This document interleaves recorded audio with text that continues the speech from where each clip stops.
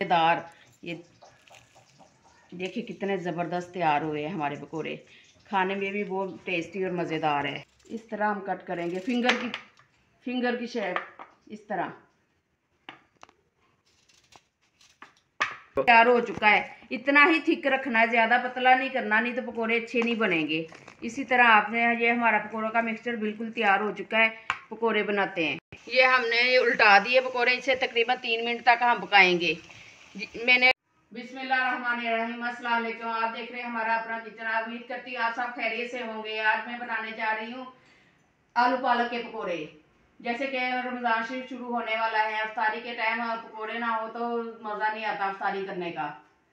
जिसके लिए हमें चाहिए बेसन, एक पाव, मिर्च एक चम्मच, नमक एक चम्मच, हल्दी हाफ़ चम्मच, ज़ीरा एक हाफ़ चम्मच गरम मिर्च हाफ़ चम्मच, गरम मसाला हाफ़ चम्मच जवाइन हाफ़ चम्मच।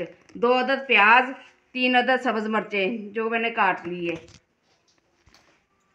पालक, तकरीबन अध पाव के करीब, दो अदद आलू। आलू हमने इस तरह टक लगा लेना है। टक लगा के हमने इसे कट कर लेना है।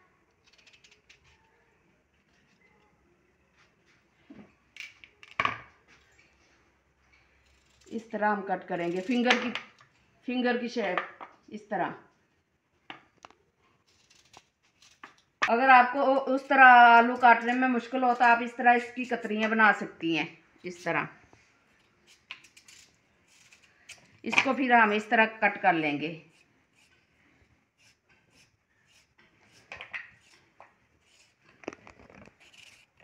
इस तरह कट कर लेंगे। और पालक को भी हम इस तरह काट के मोटी मोटी ना ज़्यादा छोटी काट, कट करनी है, ना बड़ी करनी है, दरमियानी, इस तरह।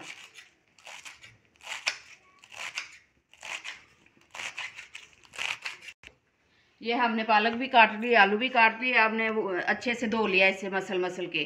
पालक को अच्छे से मसल के धोना है। अब हम डालेंगे इसके अंदर एक बोल के अंदर पालक डाल देंगे।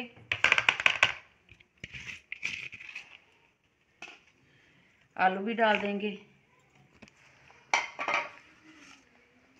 प्याज, जो हमने ये रखी थी सारी चीज़ें इसके अंदर ऐड कर देंगे।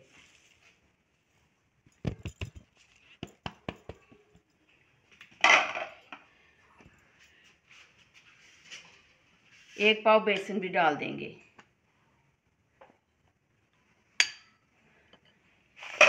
अब हाथ के साथ अच्छे से इसे मिक्स कर लेंगे। पालक के अंदर भी पानी होता है, आलू के अंदर भी पानी छोड़ देते आलू भी, इसलिए हम पानी नहीं डालेंगे अभी। अच्छे से मिक्स करके फिर अगर ज़रूरत पड़ी तो पानी डालेंगे। अच्छे से मिक्स कर लेना है। इसके अंदर थोड़ा पानी डालेंगे हम।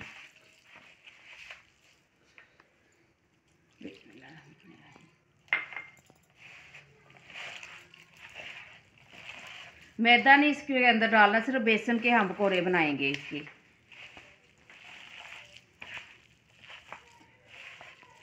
ये हमारा मिक्सचर तैयार हो चुका है। इतना ही थिक रखना है, ज़्यादा पतला नहीं करना, नहीं तो पकोड़े अच्छे नहीं बनेंगे।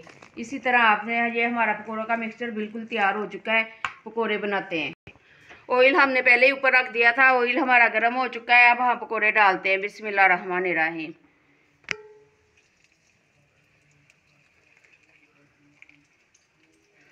इतने बड़े भी नहीं डालने और इतने छोटे भी नहीं डालने। इस तरह आपने दरमियाने पकौड़े डालते जाना है। ये हमारे एक तरफ़ से ब्राउन हो चुके हैं, अब हम इसे उल्टाते हैं, लेकिन आपने मीडियम आँच पे बनाने हाई पे नहीं बनाने। इस तरह हम इसे उल्टा देंगे।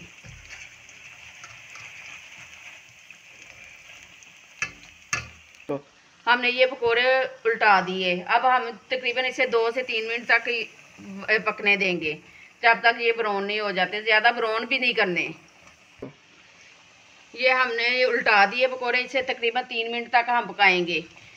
मैंने माह रमज़ान के हवाले से वीडियो डाली हुई जिसने नहीं देखी वो देख ले जाके। ये हमारे पकौड़े तैयार हो चुके हैं। बाकी भी सारे इसी तरह आपने निकाल देने हैं।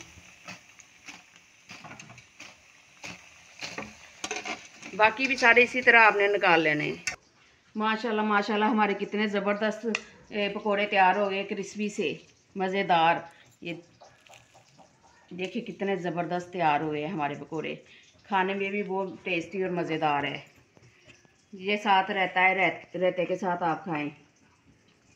लाइक करें शेयर करें कमेंट करें। इसी तरह हमारे यूट्यूब चैनल को सपोर्ट करते रहें।